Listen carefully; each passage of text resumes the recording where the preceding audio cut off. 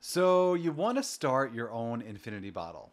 It's like a whiskey lover's version of a masterpiece that is always in progress. Imagine blending different whiskeys together, creating your very own unique concoction that evolves with every pour. Sounds pretty cool, right? Let's get started.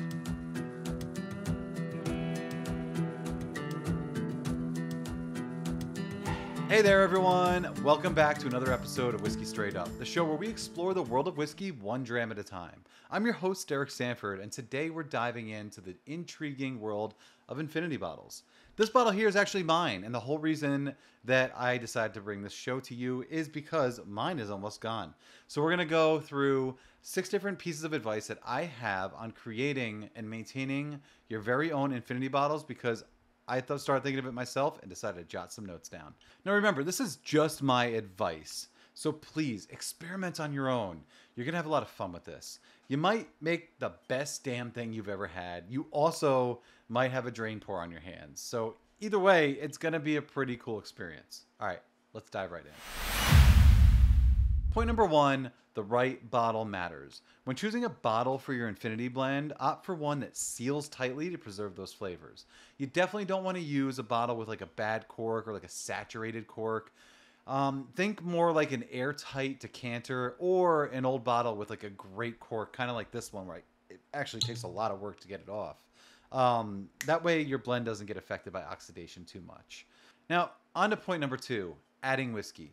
Here's where the fun begins you can add basically any whiskey you like, whether it's a single malt bourbon or even a rare find. Just pour a little bit of each and watch as your blend takes shape.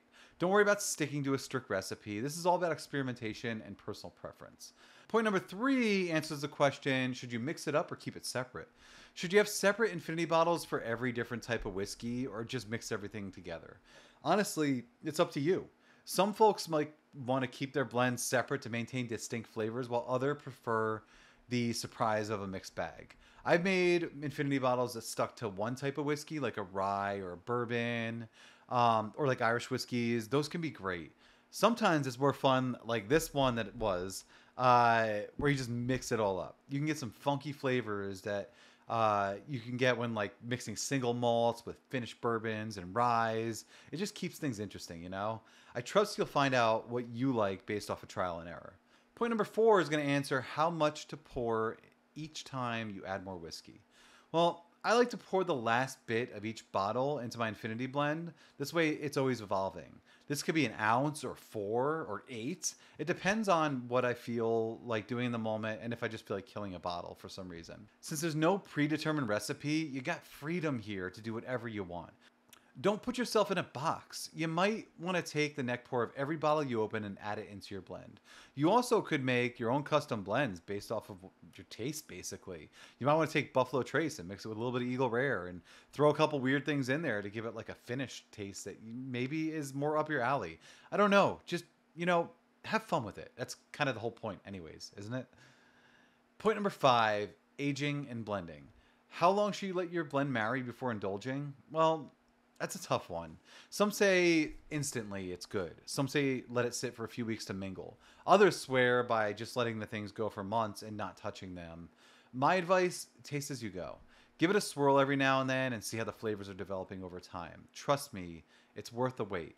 Also, you want to keep a close eye on oxidation. If you let something sit for months, it might turn on you and get a little weird. If the blend starts losing flavor or if it gets a little too funky, it might be time to move on.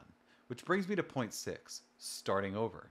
Eventually, your infinity bottle uh, will run low, kind of like mine, or it could get weird or gross. You'll face a dilemma. Should you refill it or should you start fresh?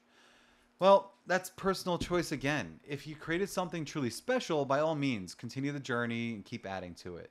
But if you're itching to try something new, don't be afraid to pour out the remnants and start something new. There you have it, folks. Your crash course on creating and maintaining infinity bottles. Remember, there are no rules in the world of whiskey, just good friends and good drams. Thank you for watching this episode of Whiskey Straight Up. And remember, please always drink responsibly. Cheers.